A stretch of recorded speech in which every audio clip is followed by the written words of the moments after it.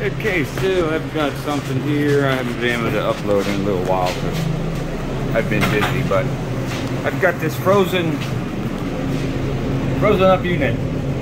So, problem with this one is that the drain line doesn't go into the and like into the, the, the city utility drains like in the sewer it, it's something else the drain line comes out right here see right on there. It comes right over here. Comes out and it goes into this. It was strapped to this with these straps but I pulled them off. It goes into this line.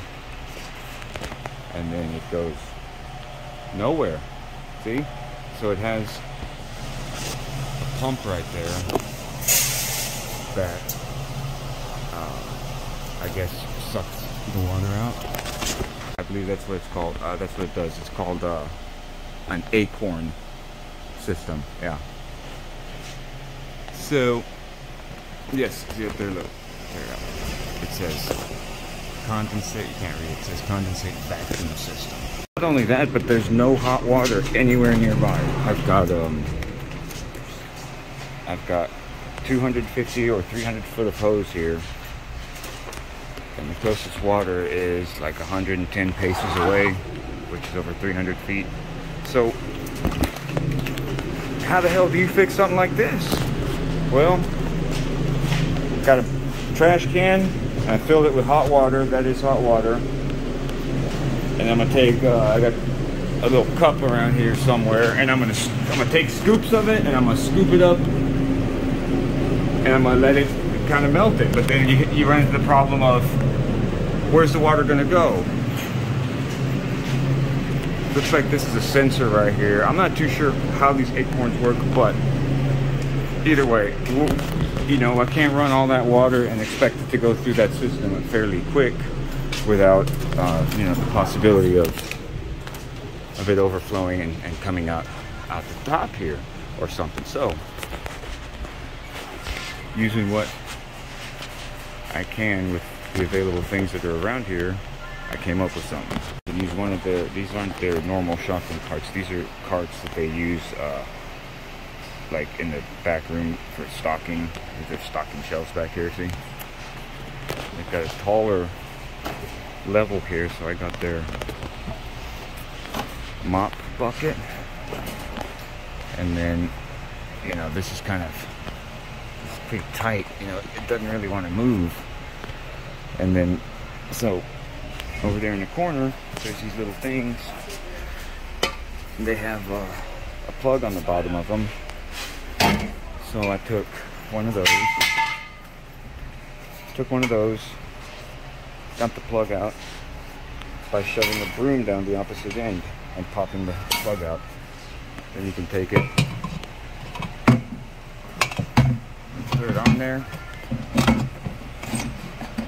Push it all the way up, it kind of it, it, stays. Look at that. It stays in place. So I, now all I gotta worry about is um this bucket after I get like maybe five gallons of water with my hot water. Just make sure this doesn't overflow, and then I gotta go dump this, and then that'll work. And then, if that ain't bad enough, the water drain issue when you start pouring your water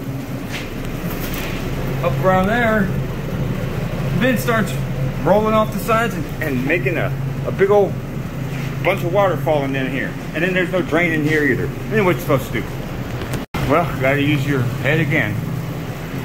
use this shelf and those buckets. I'm gonna roll it under there and see, catch all the water that comes out. And then while, while it's still a slow process, getting water and taking it up the ladder and trying to melt this big old hard ball of ice, at least now,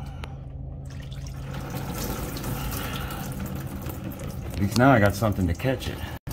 Yeah, so that is a little bit better.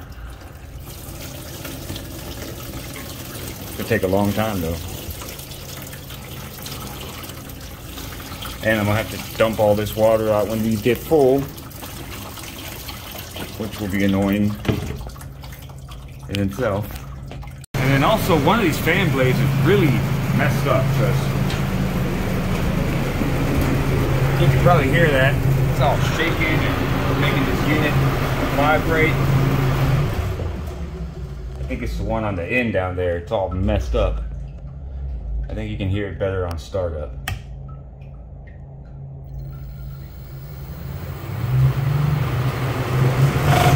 Yeah, heard that? So, I gotta figure out what's going on with that fan blade over there, motor.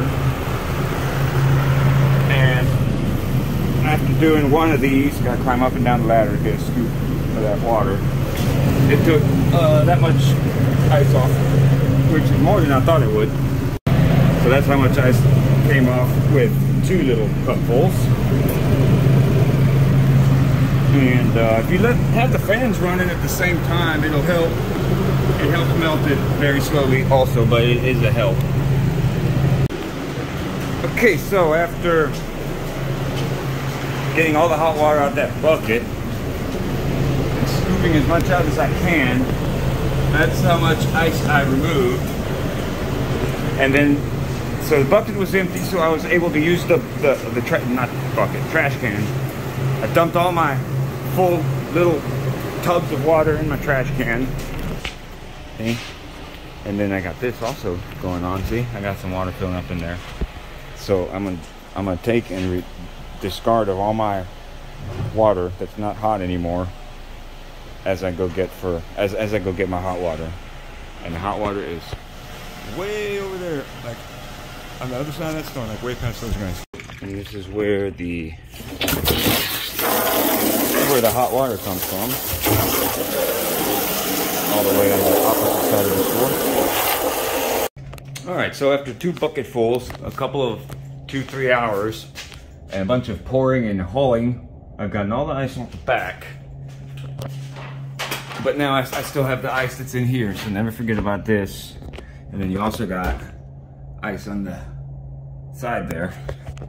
So to get this out, I'm gonna take the, the fan out so I can pull it out. Cool, so I got this fan out. I was able to manipulate that one out and the one that was over there out. But then I also got one, and you can't really see it. It's, it's back behind. Yeah, it's back behind the one on the left. That one's still pretty thick. I'm gonna have to take this one off. And you just take these four uh, nuts out, then you take the blue thing off, the fan shroud, and then there's two little, tiny little screws, not screws, nuts that hold uh, this, this bracket in. Oh yeah, and in between those two steps I just said, you gotta take a 1 8 inch Allen wrench and loosen that. Sometimes they're really hard. See. Get one of these. They're in there. Anyways, you get the idea. And there's them two uh, nuts I was telling you about. Only those two things hold this in, and then, yeah, get that big old glob of ice out of there. If you don't get all the ice out, it ain't gonna work. All right, well, I got uh, all the ice off, got put together and restarted. Really, the whole point of this video is I just wanted to show you my, my hack and what I did uh, regarding my drain and my water issue. So, hope you guys got any good ideas out of this, learned something, and it helps you somewhere, somehow. So, thanks for watching.